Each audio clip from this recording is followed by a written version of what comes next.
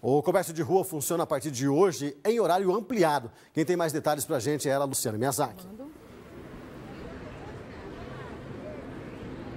É isso aí, Cid. Fim de semana chegando, Dia dos Pais, aí o comércio também se programando para essas vendas tão esperadas, né? Hoje, então, o comércio de rua funciona até as 9 horas da noite, amanhã também e no sábado o dia todo até as 6 horas da tarde. Sobre isso a gente conversa agora ao vivo com Ângelo Pamplona, que é diretor comercial da Sil. Ângelo, e aí, como é que está a expectativa, hein? Boa tarde. A expectativa é boa, é uma data esperada ao longo do ano, Dia dos Pais, uma data importante para o comércio varejistas. Então nós estamos com muita expectativa em relação a essa data agora, Dia dos Pais. Esse horário estendido costuma funcionar bem? Funciona, ele ajuda o consumidor a ter mais conforto para suas compras, o lojista também fica com um tempo maior para atender esse consumidor. Em tempos de pandemia existe um distanciamento, as pessoas não se aglomeram em função do horário ser estendido. Então é bom tanto para o lojista quanto para o consumidor.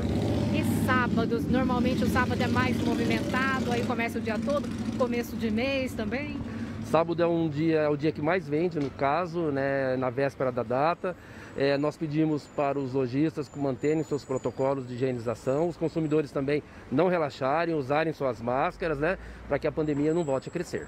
Os, os, comerciantes estão animados com esse inverno, porque a gente está tendo esse ano um inverno de verdade, com frio mesmo, né? É, veio a calhar esse inverno, né? As lojas que têm loja de sapatos e roupas, que têm botas e roupas para inverno, estão vendendo bem. Então foi um inverno que veio a calhar para dar uma salvada aí nesse período de pandemia, quando as vendas diminuíram. Então o inverno veio agora e deu uma ajudado no faturamento das lojas. Você já tem sentido isso realmente, aí um reaquecimento das vendas? Vem reaquecendo. O ano passado nós estávamos bem no início da pandemia, bem no meio da, da dos contágios, né? A gente vinha que estava um momento difícil e agora esse ano as pessoas já se acostumaram, já estão mais prevenidas, os lojistas também, então todo mundo se adequou a esse momento e as vendas estão crescendo, é, ajudando a retomada da economia.